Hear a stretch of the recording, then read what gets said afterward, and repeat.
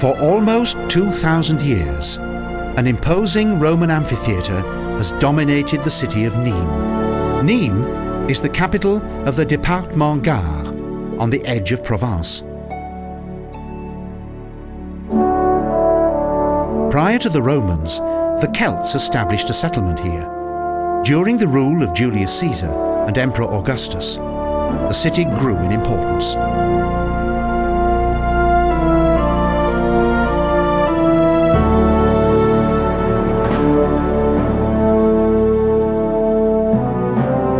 Once, the arena was the setting for gladiatorial battles.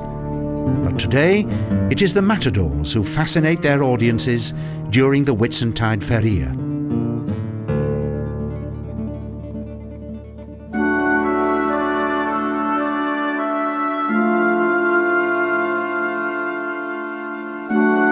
The monumental Roman building is not only the scene of bullfights, but also gentler pursuits such as concerts and opera.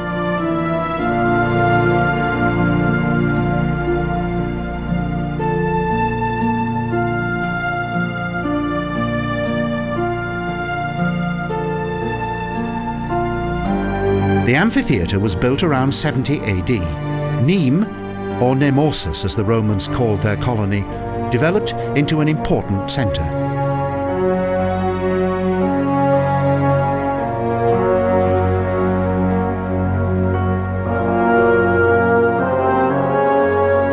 In the 2nd century AD, Emperors Hadrian and Antonius Pius ordered the construction of two further splendid buildings. Thus, the town was enriched by fine architecture.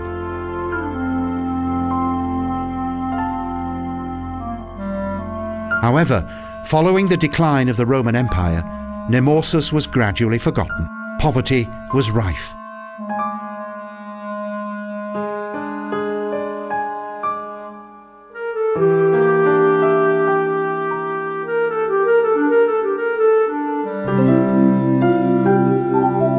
During the Middle Ages, the Counts of Nîmes transformed the arena into a castle-like fortress. Two walled arcades are evidence of this.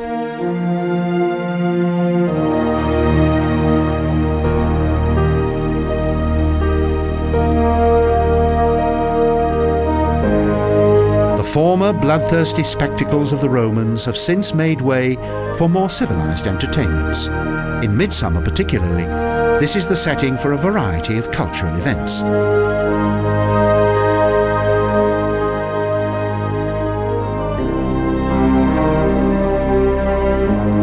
Twenty-five thousand spectators once filled these terraces. Today, however, the seating capacity of the amphitheatre is somewhat smaller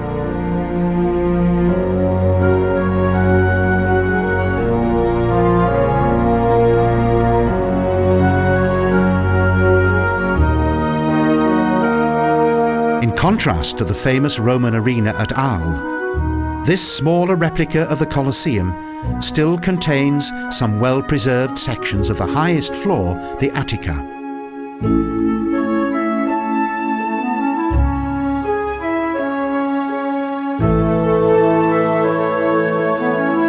A long time after the barbaric Roman games and its transformation to a medieval fortress, this building served as the residential quarters for several hundred people.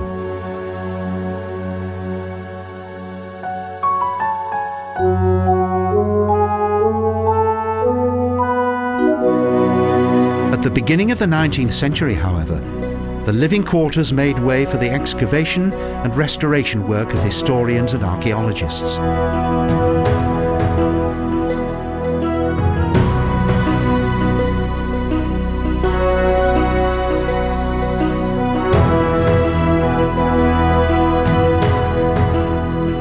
Today, the beautiful view from the most highly elevated seats of the amphitheatre extends across the rooftops of the picturesque old town of Nîmes.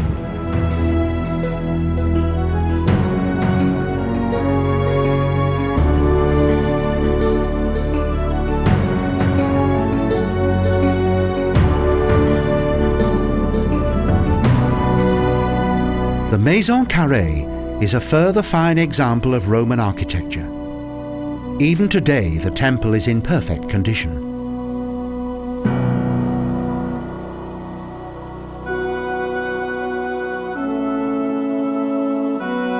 These Corinth capitals and artistic stone carvings are of Greek influence, and there are typical features of Augustinian classic design.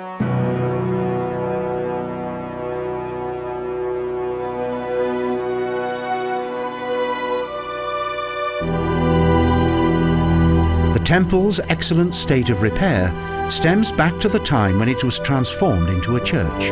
Thus, this pagan building that dates back to the 1st century AD was spared from destruction by the Christians.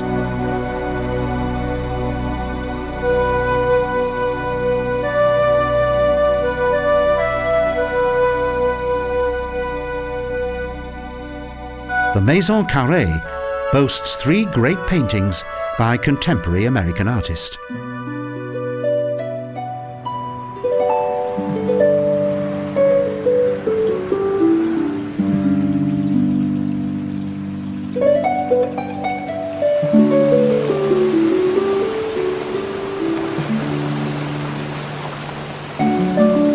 The Jardin de la Fontaine Park dates back to Nimes' earliest days. The god Nemos was once worshipped here by the Celts.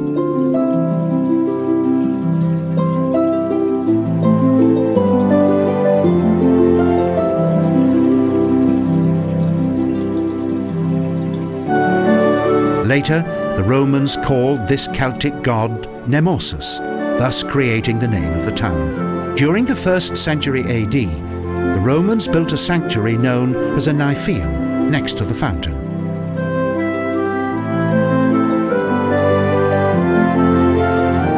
The Baroque garden, with its rich array of sculptures, dates back to the 18th century when the city enjoyed much prosperity.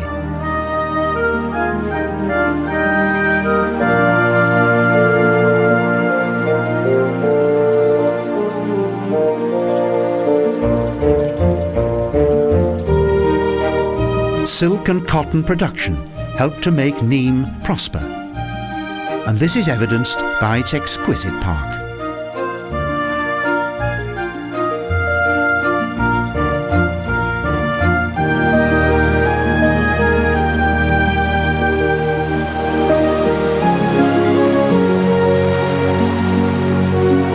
A short walk through the Jardin de la Fontaine, and at the top of Mont Cavalier is the Tour Magne.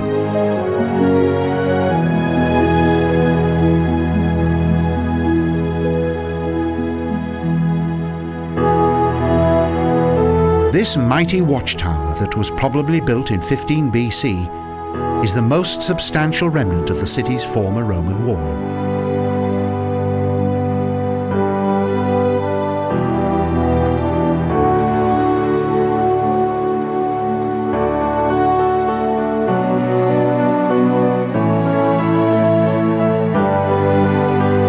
Conquering the 140 steps of the tower that lead to an observation area, the effort is well rewarded.